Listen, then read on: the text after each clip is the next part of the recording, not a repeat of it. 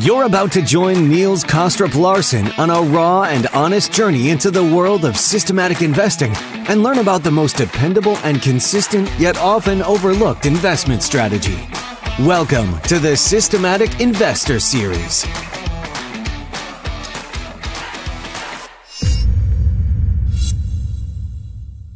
Welcome or welcome back to this week's edition of the Systematic Investor Series with Alan Dunne and I, Niels Kaastrup Larsen, where each week we take the pulse of the global markets through the lens of a rules based investor.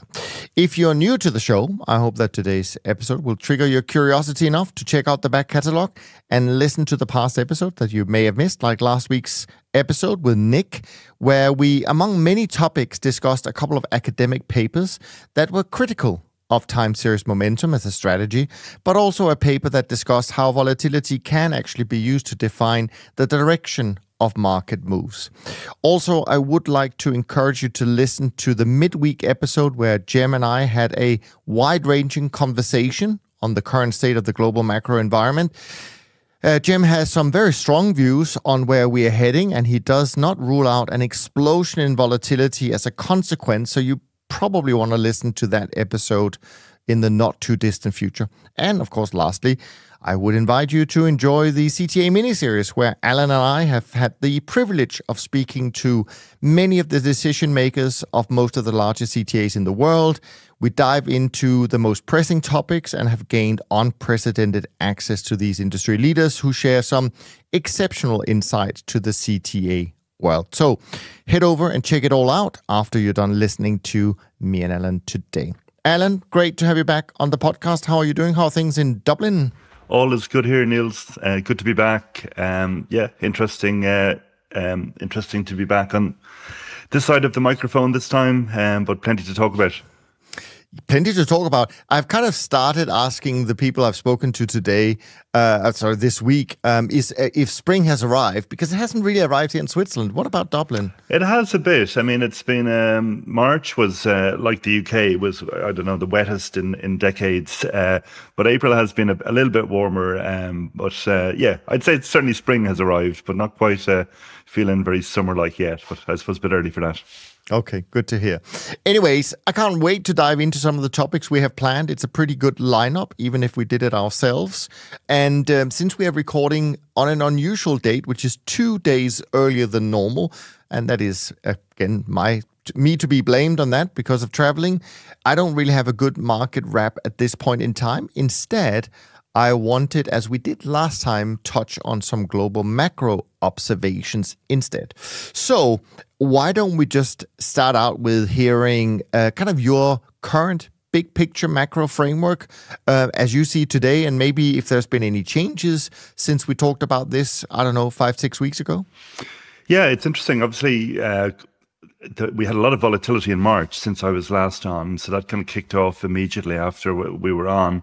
Um, and and that's probably been the you know the big focus has been around the the the, the banking sector and and what is the economic impact of that going to be from kind of from a big picture picture macro perspective it seems like we're, we're, we're still in a bit of a holding pattern. I would say, you know, if you're looking at the economic data, economic growth in the US has, has, has slowed a, a, bit or continues to be kind of showing that kind of moderate, uh, maybe slightly below trend trajectory. You know, certainly some signs of weakness there in terms of ISM manufacturing new orders and, and the services sector has slowed as well and signs in the labour market of cooling with jobless claims uh, picking up.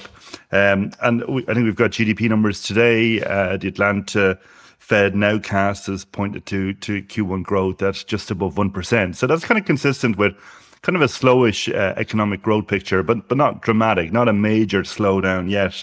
And on the inflation side, you know, the the, the, the numbers of late continue to show inflation being stubborn in coming down. If you look at the PC, core PCE you know, on a three month or six month annualized basis, you're still looking at core PC at four and a half to five percent. So um, I think all of that, you know, that picture was still consistent with the Fed thinking in terms of doing 50 basis points in March. But then obviously what we had was the the the, the issues in the banking sector, and uh, and yeah, and this is a you know really very much clouded the picture now because you know, I think uh, there is some anecdotal uh, evidence some people are pointing to of, of that impacting credit conditions, but I, I would say it's pretty tentative at this stage, and, and we'll have to wait and see what's the economic impact of that going to be. Obviously, there was a lot of stress over a couple of uh, periods there, and, and obviously we had the Credit Suisse as well. But but things by and large have stabilised uh, at at you know across the board. Obviously, uh, some banks, First Republic, uh, still uh, under strain. But I would say. Uh, probably too early to say, you know, what's the impact of that. One of the things I've been looking at from a, a market and, and macro perspective is the spread between uh, in the US three month uh, T bill rates and, and a 10 year rate. So obviously everybody's been focused on the yield curve and people tend to focus on twos, tens a lot. And obviously that's been inverted for a while. But it's interesting if you look at the three month, 10 year spread, it's um, 1.73%, uh, and that's the spread to the constant maturity uh, 10 year, looking at the, uh, the, the, Fed data. But that's the highest level, um, so the most inverted since 1981. So it, I, I think it's quite, you know, quite uh, an interesting statistic that, you know, we've, we've had this constant expectation that rates would go up, but they wouldn't be able to stay up, and that we, you know, market continues to price in lower rates pretty soon. Um, and it's interesting that that expectation is much higher now. Like this, you know, the, the difference between the three month and two year yeah, spread is much greater now than say at the peak of the cycle in 07 or in 2000.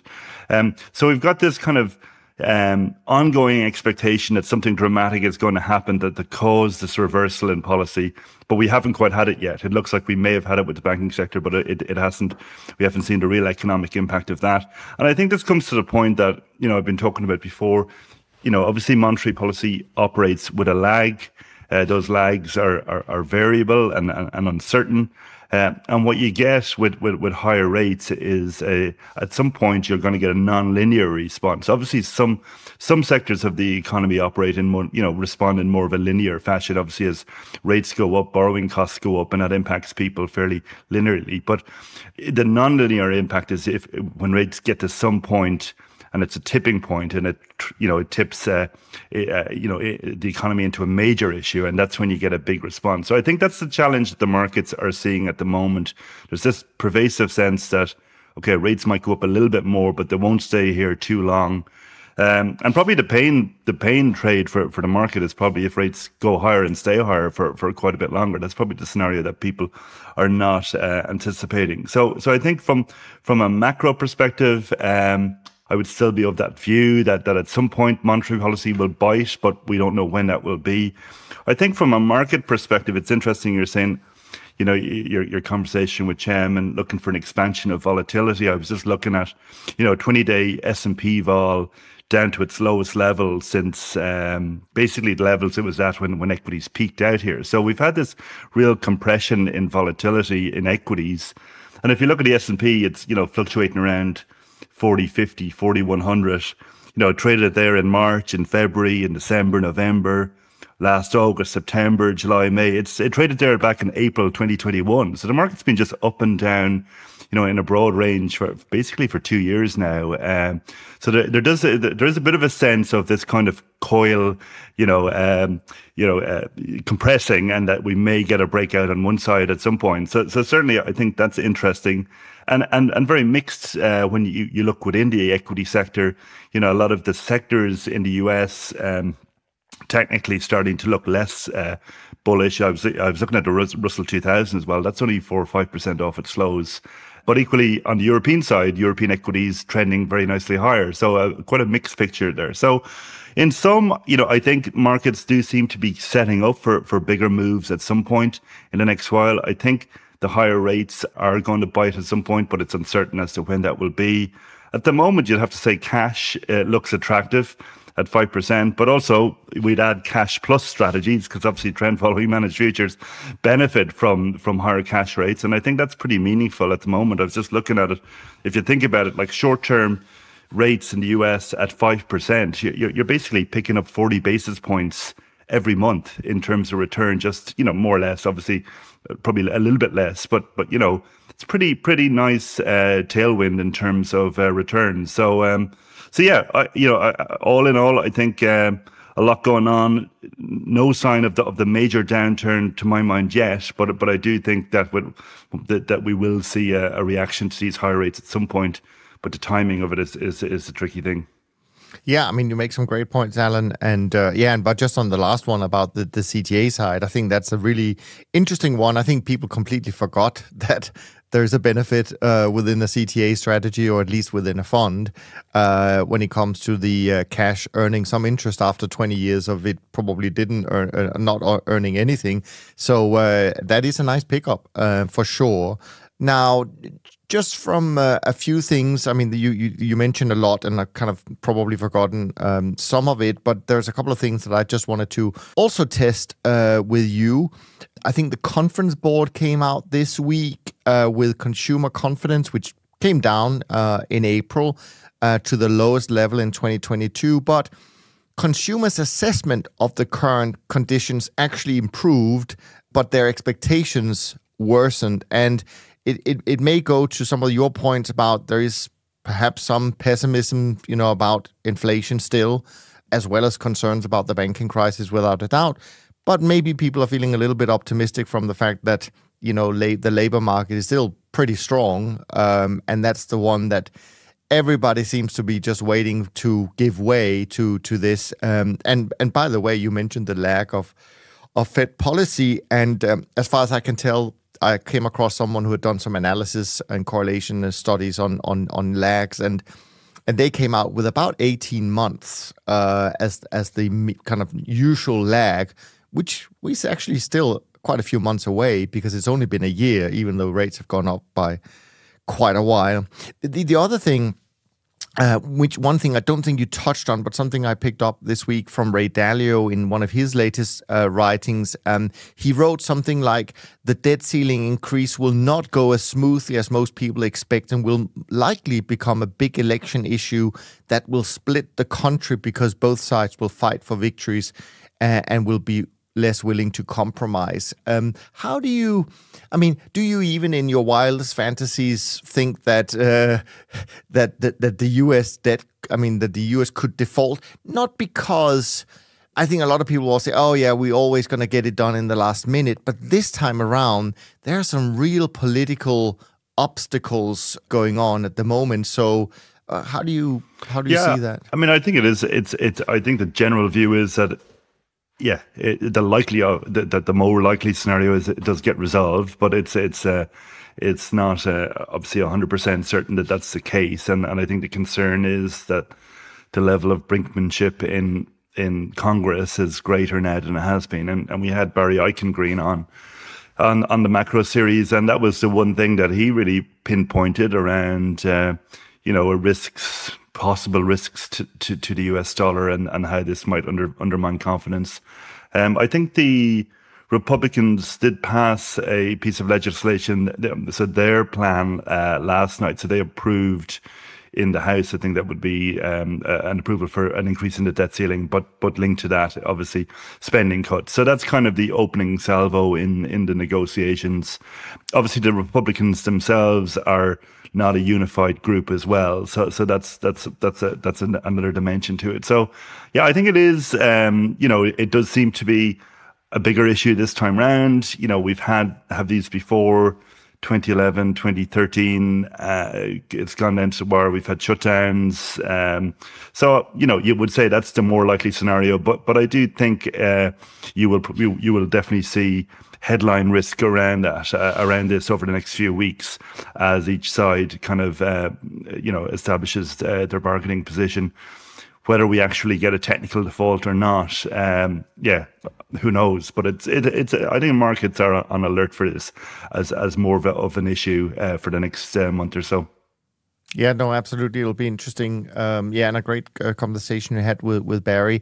Um, and on that topic, actually, uh, in 10 days' time or so, we're going to publish a conversation we recorded this week uh, where Kevin spoke with uh, Martin Wolf, the uh, the well known Financial Times uh, editor. I think he is a columnist, editor, uh, and um, I mean th- thought provoking for sure, and probably is also going to divide the uh, audience a little bit on some of his thoughts. But I think he also were quite concerned about the political situation as we head into this debt ceiling uh, negotiation. L- last point, I just wanted to hear not something I know uh, a lot uh, about really, but we tend to always look west, right? We always talk about the US, etc., etc. But if we look east, there's another big uh, country called China.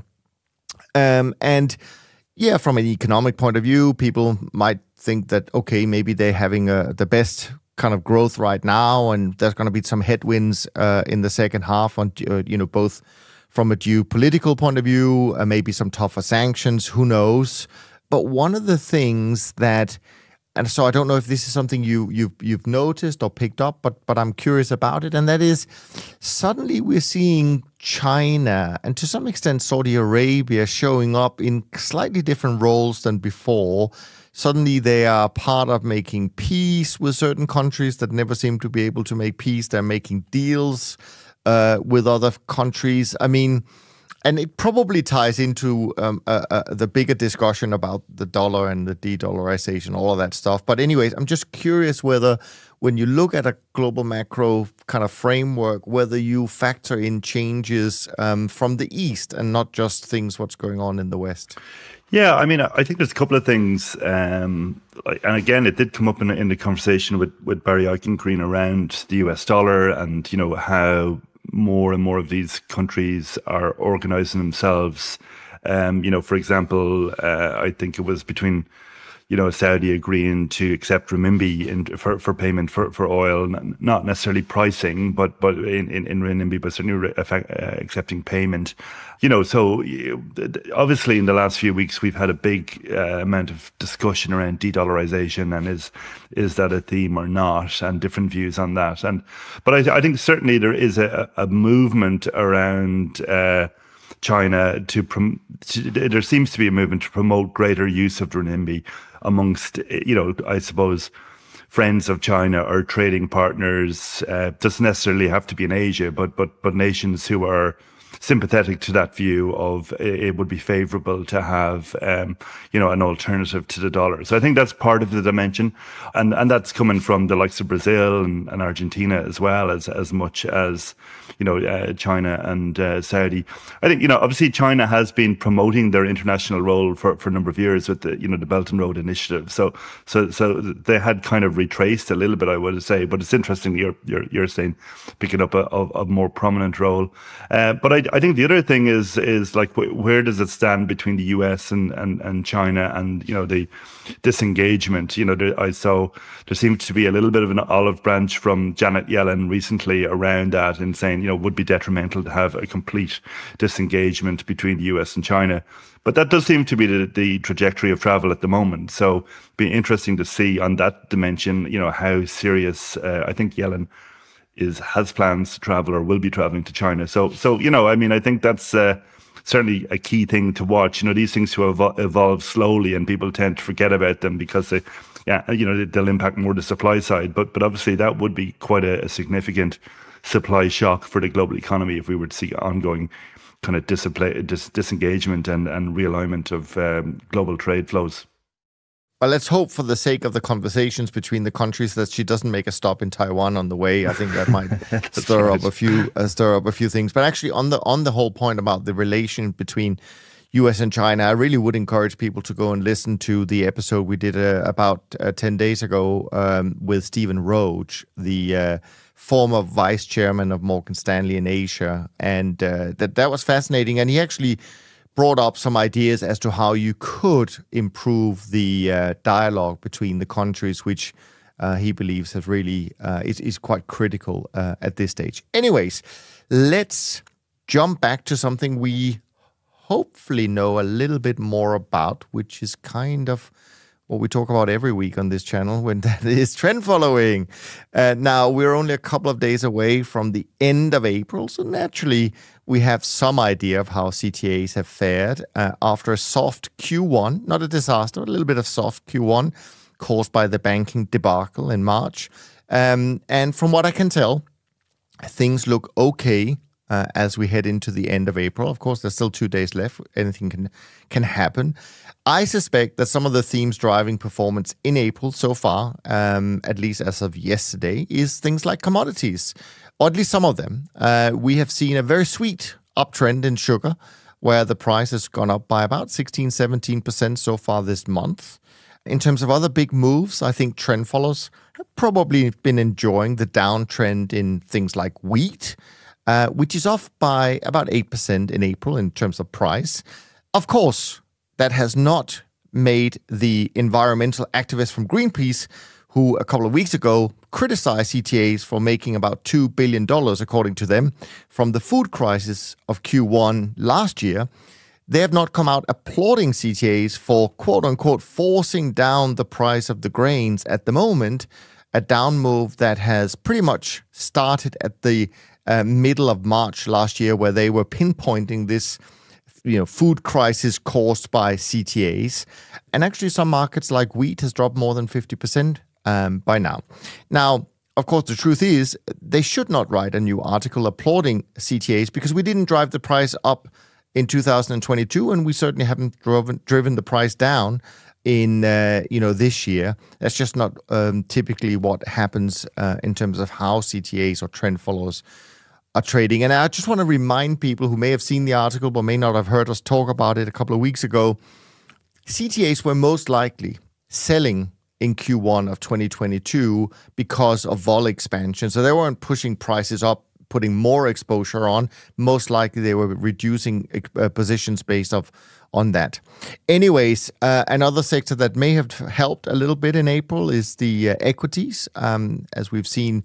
You know, many markets kind of grind higher, uh, as Alan mentioned, based on low volatility.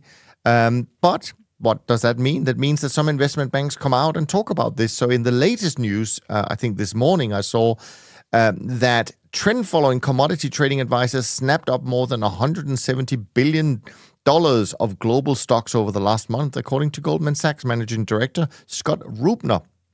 Now, leaving the con- uh, contingent with the highest exposure to equities since the bull market crested in early 2022. He's probably right that CTAs have increased their exposure to equity, so I'm not blaming that. I still think it's weird that uh, investment banks are so obsessed with what CTAs are doing, um, especially um, those who don't get it right when they talk about it. Anyways, currency and bonds, I think we have been pretty flat um, for many trend followers. Also, energies mainly because I actually think exposure in these sectors are pretty low at the moment. At least that's how I see it. My own trend barometer, um, it closed yesterday at 43, which is still pretty neutral, although it's towards the higher end of the range that we've seen in the last few months, where it's been kind of neutral at best and very weak uh, during a large part of this year so far. It has been sitting between 20, which is really some of the lowest reading you'll ever see, on the low side and then briefly touching 50 on the high side, which is not even really positive in terms of expected returns. As of yesterday, uh, CTAs were in the beta 50 index up about 62 basis points, still down about 3% for the year. SGCTA up about 1.18, down 4% for the year. SocGen trend down, uh, up 2 for the month, down 5 and, a, and 0.4 uh, for the year and the SG uh, short-term traders index down about 76 basis points and down uh, two and three quarters so far this year. Certain replication funds down about nine and a quarter so far this year. And um, yeah, equities down a little bit, uh, both uh, on a world basis, but also the S&P and bonds are pretty flat so far this month.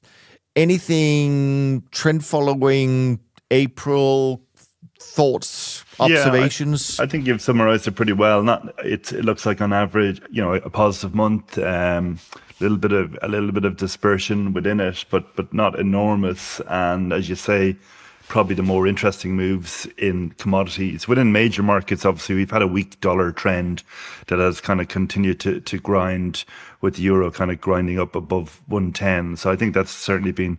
Uh, a source of opportunity, and as you say, European equities have been kind of up on the month as well. A um, couple of you know uh, gold had been trending higher at the early part of the month, but but but peaked out. And then, as you say, the grains and also cattle prices have been going up quite dramatically, uh, uh particularly in the early part of the month. So certainly opportunities in commodities. Uh, and but but probably more rangy in uh, in bonds and equities uh, this month, I would say.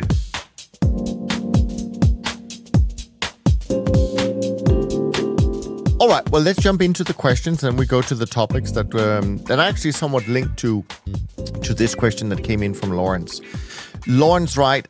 a general couple of questions I have, um, and then um, he asked if we can fit it into the Q and A. Of course, we can do that. Um, he talks about first about we hear on many of the podcasts people talk about trend percentage allocation within an overall investment portfolio. I have twenty percent allocated via UCITS, including some of the names we know here on the channel to CTA trend, but I'm approaching retirement drawdown. Question is Do you think the allocation should remain the same or differ when drawing on investments to provide an annual income?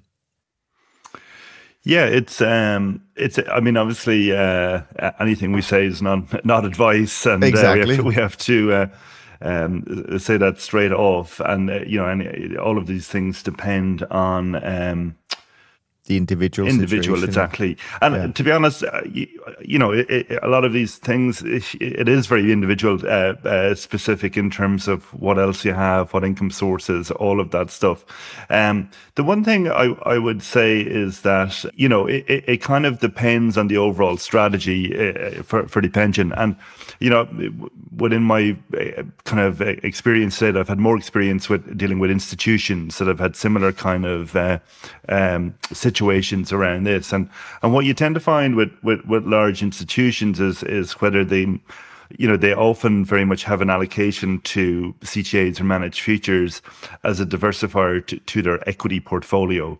So if, you know, if they're getting more funded in, in the overall pension and they don't have, and they have less need for growth assets, they might have less need for for diversifying assets to kind of hedge that uh, equity risk. So I would say it depends on you know if the portfolio still has a, has an objective of growing over time. If uh, I'm not sure where the person is from, but say if I, I, I get the impression possibly uh, the UK, UK, yeah. So obviously, you know, the, it's still got high inflation in the UK, so presumably still wants to try and protect against inflation and uh, grow the the portfolio over over time. So to the extent that you still have that equity allocation within the portfolio, then it would make sense to have diversifying assets that that, that could profit should that equity allocation suffer a, a meaningful drawdown. So so from that perspective, you know, using the template of what I've seen with, with larger institutions, that would suggest yes, maintaining it as as that uh, in that diversifying capacity. Yeah, I'll keep my comments to the end because there was a follow up question on this, and that is, Lawrence asked that if you receive a state pension in the UK, that would effectively be viewed best as a as a bond with regular income. Again, does that affect the percentage to trend in a nominal 60-40 equity bond holding? portfolio, but I gather from your answer that probably that doesn't change anything. No, I mean you can view it as a bond. It's bond-like in terms of you know you're getting this income in, in, perpetuity. Basically, I suppose what you don't have, like if you have bonds and the way people use bonds within a 60-40 port- portfolio is often that the bond value would go, would go up in periods when equities go down. That was the whole philosophy around that. Obviously, you don't have this because you don't hold a bond in the same way you are just getting the income uh, in the form of, of a pension. So yeah, I, I would nearly kind of treat that separately to, to the to the existing portfolio as a source of income, and then manage the uh, the retirement pool separate to that. Okay, so my observation, just to to round it off, is that I think if people have been asked this question, say three three years ago, they might have thought, well, you know, as you get older, as you go on pension, maybe you should increase your bond part of the portfolio um, because, quote unquote, that is safer and so on and so forth. I think 2022 taught us something, and that is that uh, that may not be the case. And even a 60 40 portfolio can run into some severe uh, turbulence. Um, so my overall take, I'm very much aligned with Alan uh, here. My overall take, and I guess it's always been that, and that is that one, having an allocation to trend following kind of allows you to own equity, and that's just simply from the long-term correlation benefits you get. But now I think we can add that to bonds as well. I think the fact that we long-term have no correlation to bonds um, is very important because I'm not so sure that bonds will behave the way they did in the last 40 years. In, in fact, I'm pretty sure they won't behave uh, that way. And that goes back to this, um, you know, 40 year interest rate cycle that may uh, well have turned a couple of years ago. So I think, Lauren, from, from where I sit, I would say I think trend following is incredibly important in all portfolios. And actually, we're going to, in a few minutes, we're going to talk a little bit about some of of the ways you know consultants institutions think about um, these strategies in a in a wider portfolio. Before we do that, you did come up with a, an additional question, Lawrence, and that was more about you know how can smaller investors uh, benefit from um, you know having an allocation to CTAs um, specifically again you you you're looking at it this from the European perspective uh, in terms of UCITS I'm not sure we in Europe have ETFs, but of course in the US we are still getting a few more ETFs that gives exposure to to these kind of strategies. I think, uh, from my perspective, again, this is this is more like a product. It's not so much a strategy. And generally speaking, we don't get too much into the weeds about certain products. Managers, we see more and more managers uh, have UCITS funds. We see more and more managers in the US have ETFs or mutual funds, and unfortunately, I think it's just a matter of just following that market and finding out which managers you can get access to through these uh, products. The problem with some of these products are, of course, that they're a little bit more expensive. And so you need to weigh up the expense, you need to weigh up the exposure you get, meaning the leverage uh, you can get, because there are restrictions in terms of leverage within, say, UCITS, uh, and so on and so forth. Um, I'm as frustrated as, as you are, probably, Lawrence, in terms of the fact that we can't get every give everyone access to these strategies because I truly believe that they should be part of uh, every portfolio uh, for sure. Um, but I think I'm going to leave it at that uh, in terms of the specific product uh, discussion and um, just follow the space and hopefully it'll change in the future. All right, but staying on this topic of risk and how to assess it, we're going to move on to a question um, about risk mitigation or mitigating risk in a portfolio sense. And you have initially on the trend side, Alan, you've been looking a little bit about the current drawdowns that we've seen in the trend space and just to kind of help us better understand from a historical context um, what it looked like, so to speak. So I'm not entirely sure where we're going to go with this, but I know you will guide us through this. Yeah, I mean, say I think there's there's a couple of things we were going to talk around risk mitigation, but but maybe before then, I mean, it's I, I, I think I suppose more in relation to I guess current performance and you know obviously we we we Q1 was a tough quarter. I mean, not not not not not um an, an enormous uh, decline. But obviously, there was a period in March where where, where, where we've had a slightly more difficult uh, performance, and so it's just interesting um, how managed futures trend following has gone from being in a very good period last year, as as we all know, to being back in in, in a drawdown, and, and we all know drawdowns are part of life in CTAs and managed futures. So it's just interesting to look at the current drawdown in terms of size of drawdown and how does that compare versus history, and have we seen? Can we, you know, infer anything uh, from history? Probably not is the answer because it's you know we've got a small small sample of drawdowns, and at any point in time we don't know whether we're going into a more prolonged drawdown or whether this is it in terms of drawdown. But I mean, just to put it in context, the SocGen trend hit a drawdown of about 15% uh, towards the uh, late March. So that's you know obviously sizable enough. It's um, looking at the data, it's the eighth largest drawdown since the index came in in in in 2000 but you know in terms of a, an index with, with with with volatility of about of about 13% or so that's not uh, not enormous um, but but it is meaningful.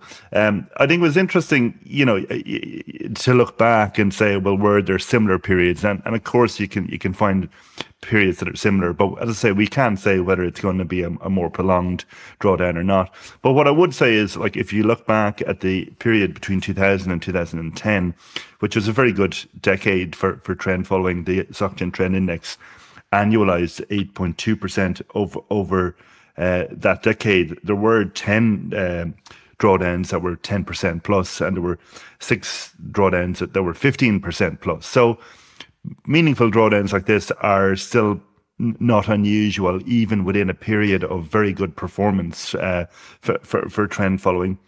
If you were to look at similar periods in the past, if you go back to the, you know, the 2000 uh, period. There was a, a, drawdown of this magnitude back in 2000, and it was kind of similar type of period. Equities were up and down in a broad range. There were a couple of others. You know, November 01 was a big reversal month. Uh, and we had a, a, a, meaningful drawdown in, in, the, in the index back then. That was a little bit similar to what we saw in March in terms of rates had been trending up and then had a very sharp reversal to trend down. Uh, and we saw something similar back in 2007, July, August 2007. Obviously, August was, was the quant crisis, but even July, August, in terms of macro markets, there were reversals and again related to, to, to bond yields. So we've seen this kind of thing before. I mean, you couldn't say just because we've seen similar ones before, that's it, that we can be confident that we've seen the worst of it. But certainly it shouldn't be, you know, although I'm sure it can be frustrating for investors who maybe came in towards the end of last year, at the start of this year. It, you know, it's obviously uh, uh, it can be frustrating. But in terms of the size of the drawdown, I would say you know very much comparable with, with what we've seen uh, historically uh, so far. The other thing that was noteworthy when you look at the index is how low volatility had got for for for, for trend following managers towards uh, the start of March, and then the huge expansion of vol that we we saw recently, and and that's very evident if you look at kind of twenty day vol, but but less so if you if you kind of look at something uh, more smoothed like two hundred and sixty day vol. So yeah, I mean. You, you can you can build narratives around these drawdown uh, statistics, but as I say, we, we don't know ex- uh, um, you know what the future holds, except to say what we've seen to date is very normal and very typical, even in a period of very good performance for for trend. Very true. One thing we can also say for a fact, and that is so far historically, um, CTAs have come out of every single drawdown they've been in. Uh, of course, we don't know about this one, but uh, at least that one we can say from the data.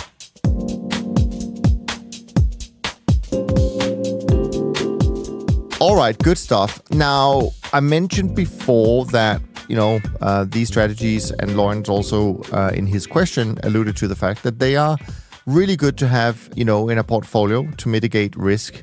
Of course, they can play a very meaningful uh, role in this, provided that you allocate a reasonable part of your portfolio to it. And you dug out a paper from uh, Meketa, I think they're called, that I would love for you to um, to talk about. I think that's probably going to be our main feature today. Absolutely, yeah. No, I, it's an interesting paper, and it's um, it's all about the, what what I call risk mitigation strategies, and uh, you know, for for people who are maybe not um, you know plugged into the public pension space in the US, you know, this is is is a terminology that has become quite widespread. You've got crisis risk offset or risk mitigation strategies, and I think I think CalSTRS used the term risk mitigation strategies, and um, you know, it is interesting. Uh, you know, I was at a conference in London last week, a volatility educational event, basically from a lot of volatility traders. And, you know, there, there, was certainly a very strong sense of this philosophy coming through that, that a sensible way of managing portfolios is to have growth assets and then manage the, the downside risk of those growth assets with either volatility uh, strategies or trend following because they will benefit from from different types of equity drawdowns and you know there's a near kind of you know, it, within that community, a, a, a, nearly a universal acceptance of that, that, that that's a sensible approach. But then obviously you go outside of that to more mainstream investors, and, and, I, and I would say that's not universally shared. So an interesting disconnect. But, you know, uh, the, the theme at, at the conference is very much aligned with this idea of using uh, risk mitigation strategies. And, and the Meketa paper is quite good on, on, a, on a number of fronts. Firstly, they make uh, straight out the bat. Um, they, they, highlight a, a, problem with many, you know, institutional portfolios, in that a portfolio might ostensibly look like it's highly diversified, uh, but actually it might have a lot of the one type of risk in it. So they have a chart in there showing, you know, a portfolio consisting of Private equity, global equity, US, international, real estate, high yield, hedge funds, commodities, tips, investment grade bonds. But by their estimate that that portfolio might have, you know, basically 93% exposure to economic growth risk and, and 7% exposure to other things. So, you know, uh, Bridgewater have done some research on this before, highlighting the same thing that a lot of institutional portfolios basically are attuned or, or, or biased towards um, stronger economic growth and, and, and lower stable inflation and do well when, when that's the macro scenario, but do badly when you get the opposite of that. And, and I think that makes sense because um, this has certainly been a theme that we've picked up on in the allocator series with a lot of allocators that you it, it, might look like a portfolio is highly diversified and you can have lots of different buckets to, to give you comfort that you have lots of different things.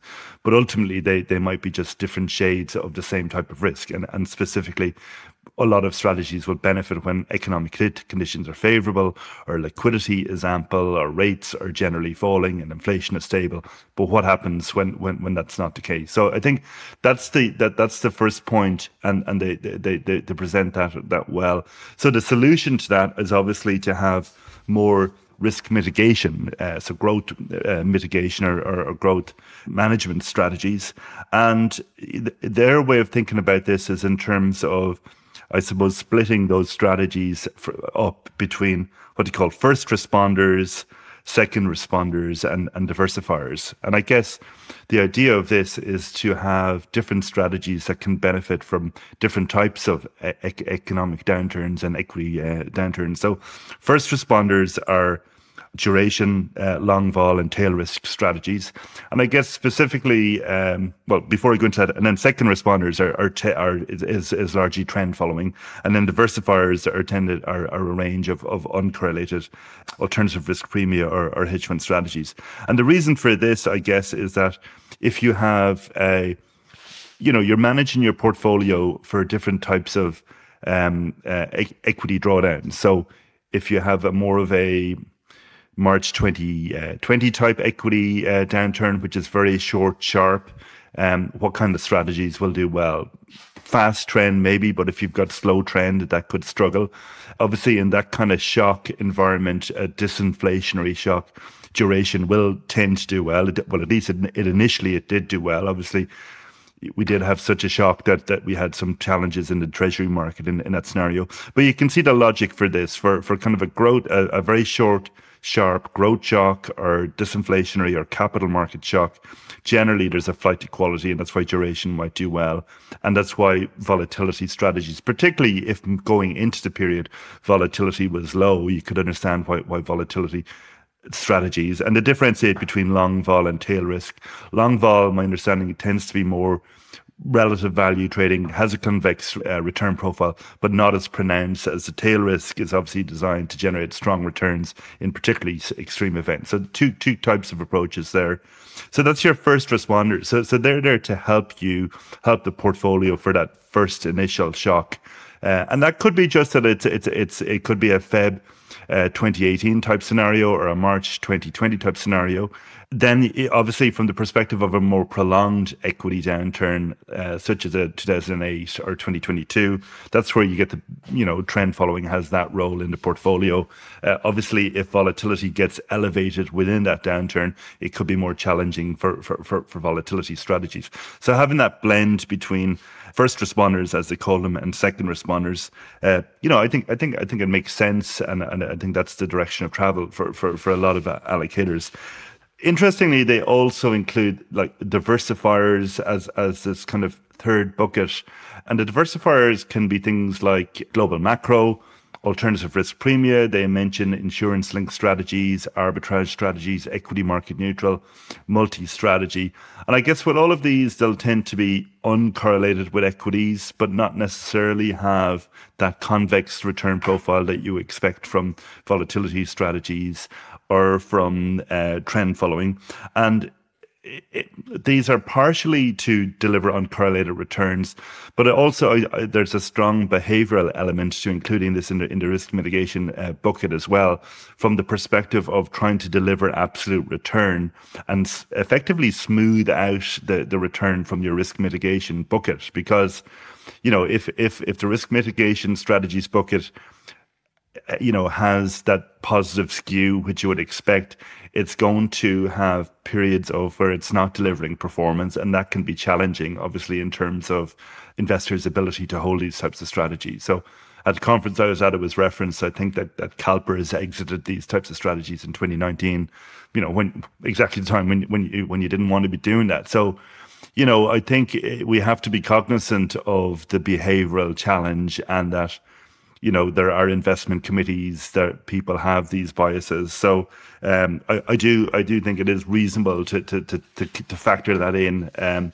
as you are uh, building out the portfolio. So, I mean, that's that's the um, the, the kind of the broad framework of, of of risk mitigation. I would say the general philosophy around this is moving away from equity bond portfolios to equity risk mitigation strategies. I think generally what you see is these tend to be maybe a 10% allocation, but you know maybe will be growing over time as as this kind of uh, gathers um, more momentum. I, I, think in the community, and then the precise, uh, I suppose, the last part of the Meketa paper is just saying the precise mix of those strategies and the balance between growth and risk mitigation will will vary depending on on the portfolio.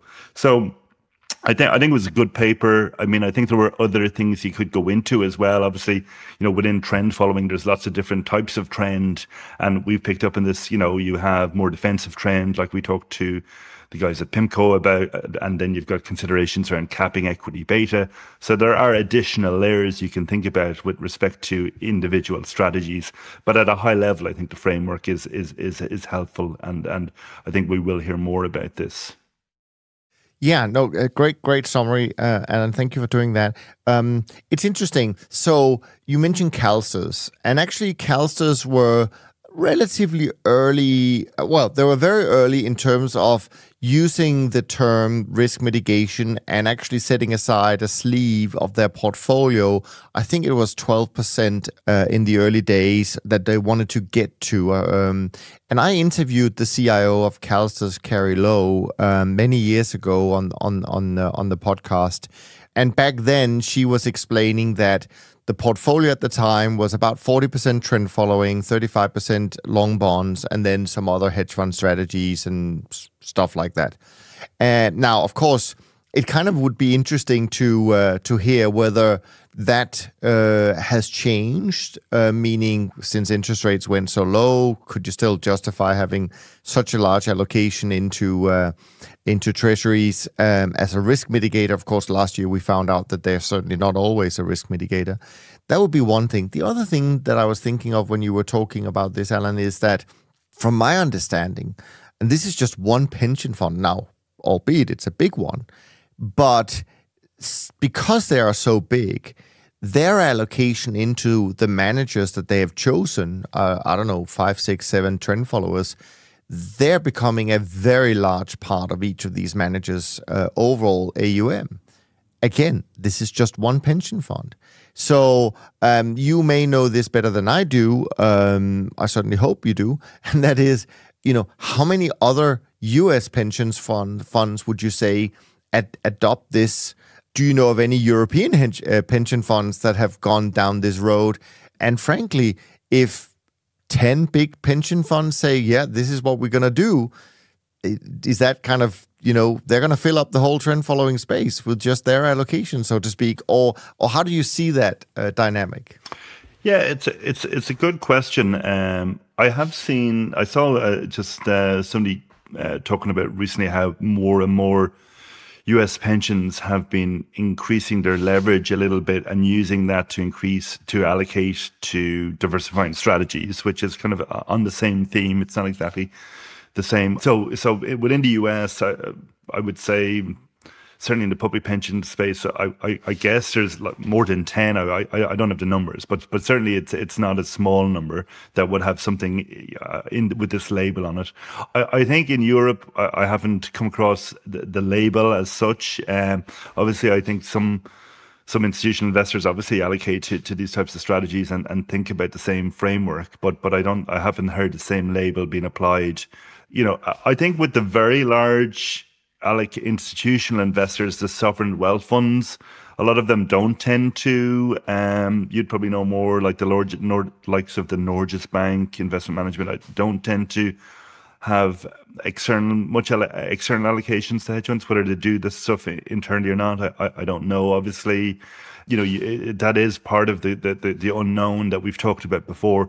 How many kind of large institutions are running these types of strategies in house. You know, obviously, some of the Canadian pensions have, have done that historically. So, it's a good question. Um, I, I, I think, I think it's one that where the uh, it's it'll be it, it you know it, there, there remains the behavioral challenge of convincing people of the merits of these strategies and that while you know as i said it was it was kind of uh, the consensus view at this niche conference i was at uh, I, it's not the consensus view more broadly in the market so I think we're we're a good bit away from that capacity uh, consideration yet, but and and there, we may never get there because the the reality is holding uh, risk mitigation strategies is not necessarily an easy thing to do.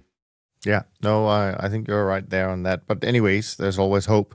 Now, the only thing I thought uh, of the paper when I read it is I always find it curious when they talk about these diversifying strategies, right? Okay, global macro, I'll agree, that's diversifying. But then they mention all these risk premium, multi strategy, equity market neutral, stuff like that. And I'm thinking a lot of that stuff, you're kind of investing in the same underlying you're trying to diversify away from. You're just calling it something else. And we know the correlations are pretty high, anyways, with the underlying um, markets you're trying to get away from. So I'm always a little bit curious about why it's called diversifiers because I, I wonder how much diversification you get from it. But leave that as, as it may. The paper also talks a little bit about correlation hedges, structural hedges, and explicit hedges, and I thought that's also very useful for people to be uh, aware of. Now, now you've talked about how they think about these things, and I kind of wanted to ask you, given the fact that you've interviewed quite a few allocators in the allocator series. Um, how would you think about doing it if, if you were suddenly given uh, the magic wand by a pension fund saying, well, Alan, I, we need to have an alternative investment portfolio here. And, you know, what, what would your argument be in terms of how it should be fitting inside the overall portfolio? And how would you go about um, actually structuring such a portfolio? Yeah, I mean, it's, it's, um, it's something that I talk to investors about all the time. And, and I mean, ultimately, it's, um, you know, I, I like, and the same. We, we, we kind of get the same answer as well when when when we did the um, uh, CTA series. That that a lot of this stuff comes down to objectives, but but largely speaking, you know, by and large, the objective with it with a, with an alts portfolio, or even if you're specifically a liquid alts portfolio, generally the the objective is diversification uh, to equity risk plus absolute return. I mean, that's what most, most uh, investors are looking for. You know, obviously you can get protection against equity downturn uh, by buying puts, obviously, but that comes with, with a high cost. So it's kind of, it's what's the most effective uh, low cost uh, diversification and executing that in in a, in a liquid alts uh, portfolio. And and and I say liquid alts because I think liquid alt uh, uh, using that expression, you know, the, the types of strategies that we're involved in uh, do lend themselves to, to, this much more to the than the private. You know, a lot of a, a, lot of investments in the private are labeled alternative, and they might be alternative in terms of their construction, but the risk you get is not necessarily very alternative to the risk you get from from public equity markets. So, so so focus on diverse, truly diversifying strategies. So I, I think a few things to, to think about. One you know, in the first instance, focusing on those strategies that are um, that do deliver that, that that low correlation and the potential of that convex return profile. So specifically, trend following is obviously the one that probably has uh, that that that that the greatest historical reliability in that respect. But uh, as we know, won't work in every single environment, and particularly short, uh, uh, sharp uh, inflection points in equity bull markets.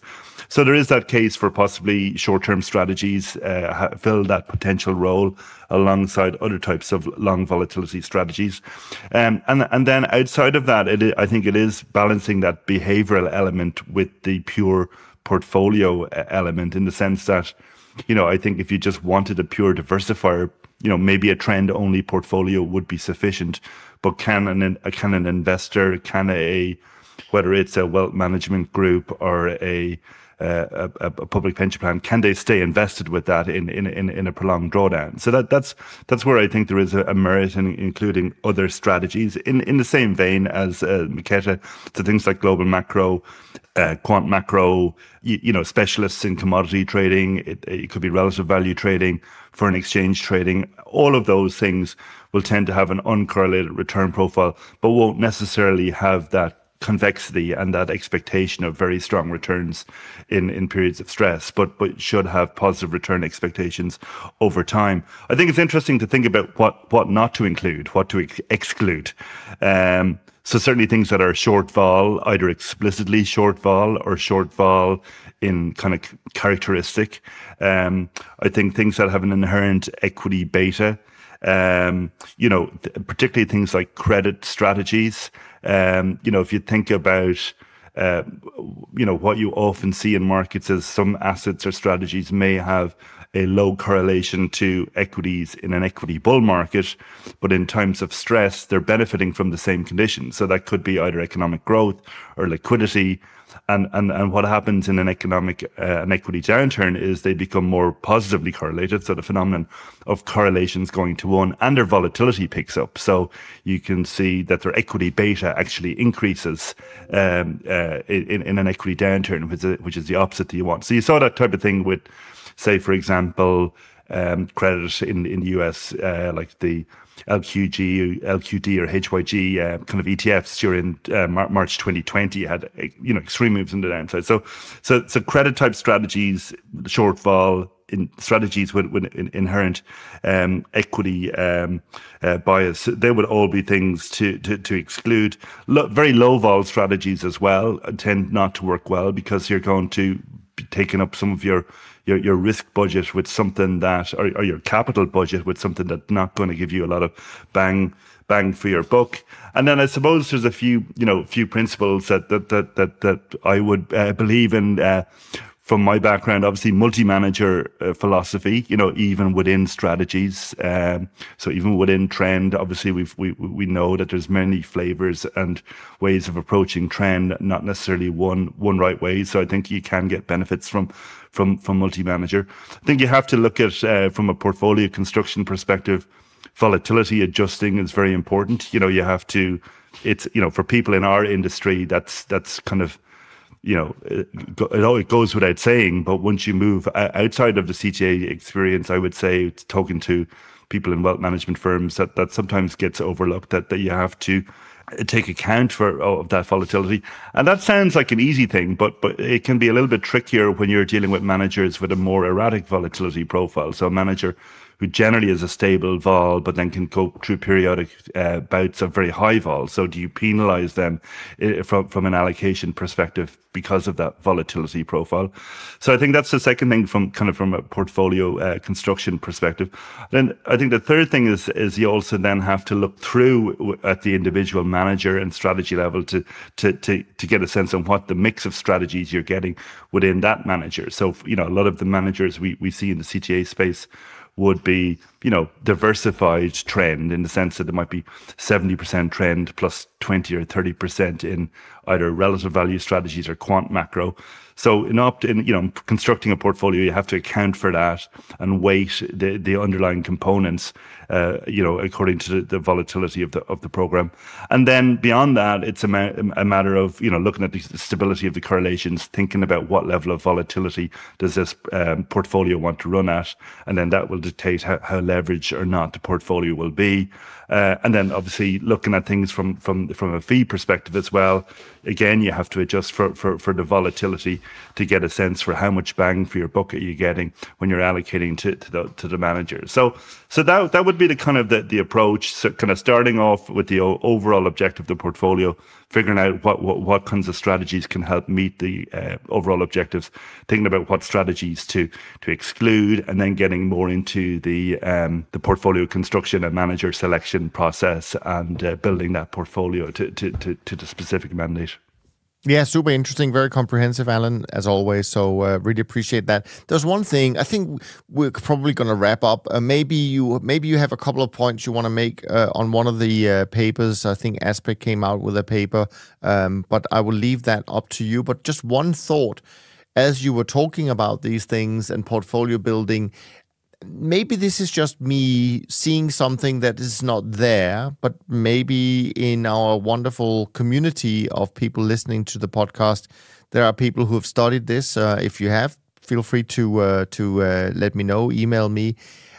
I, I don't know if it's just me observing this, but I, I'm kind of thinking that some of the shorter term strategies that are meant to do this risk mitigation, as you say, the first responders. I, I haven't seen I've seen less response from them, so to speak, um, um, and maybe a slightly higher correlation to equities than I've noticed before. And I was kind of wondering whether that's because some of these managers that we know well and part of the series we've just done, actually, some of them at least, uh, whether there's, there's it's changed by size or that they're less nimble to to take advantage of some of these things. But um, that's just my kind of gut feel. Uh, I could be wrong. Maybe it's just a too smaller sample size, anyways. But if anyone has noticed the same, done a study of this, uh, feel free to uh, to share that.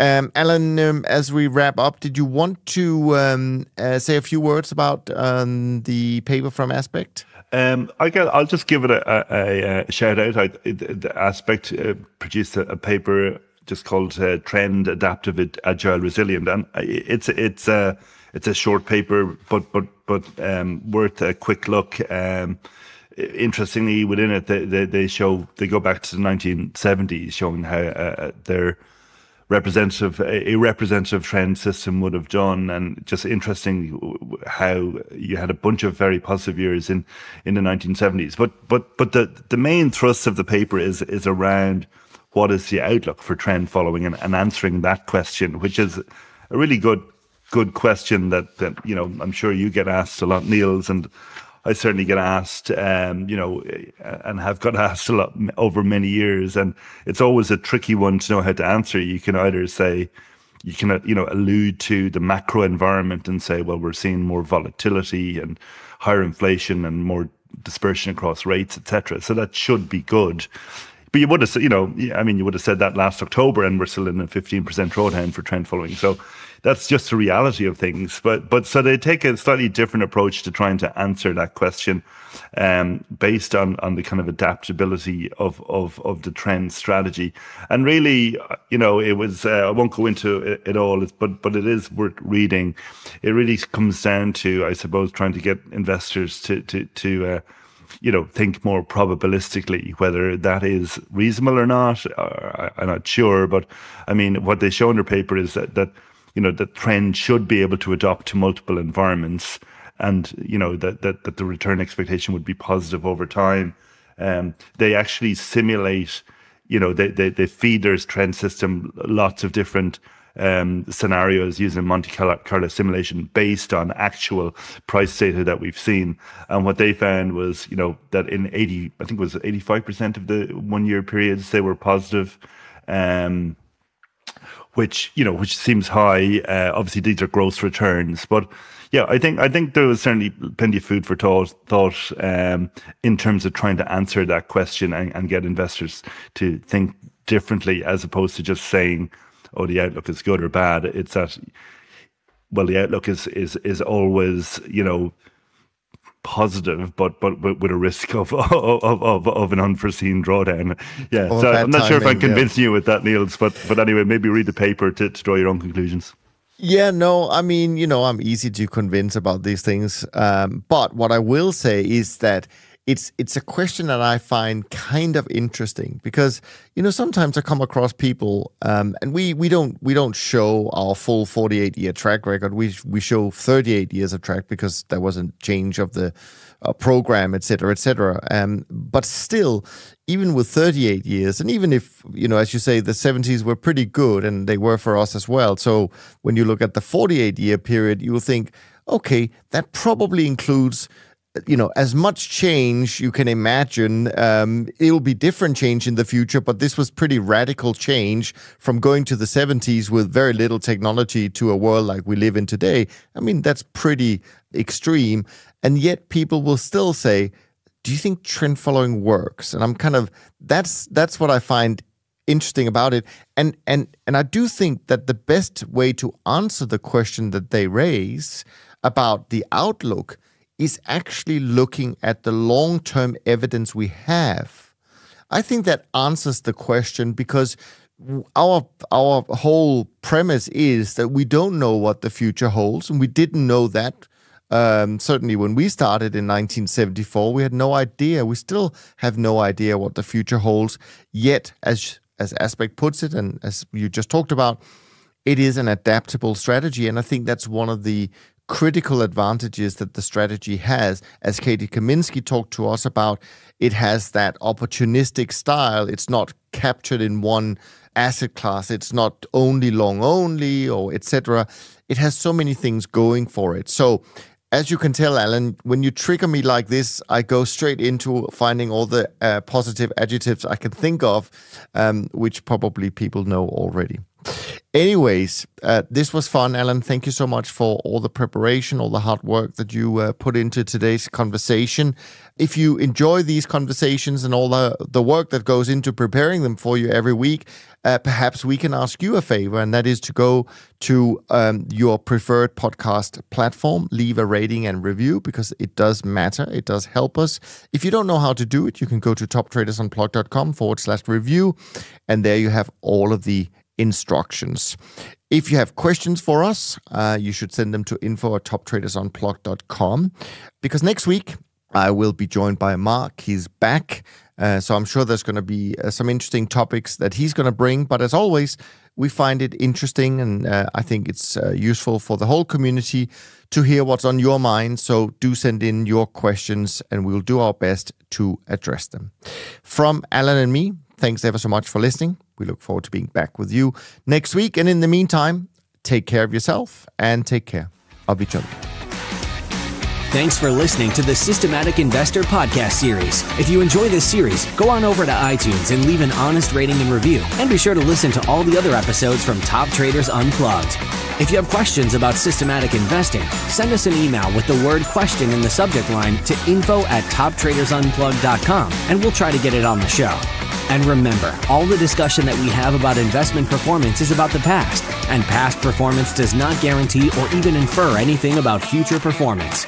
Also, understand that there's a significant risk of financial loss with all investment strategies, and you need to request and understand the specific risks from the investment manager about their products before you make investment decisions. Thanks for spending some of your valuable time with us, and we'll see you on the next episode of The Systematic Investor.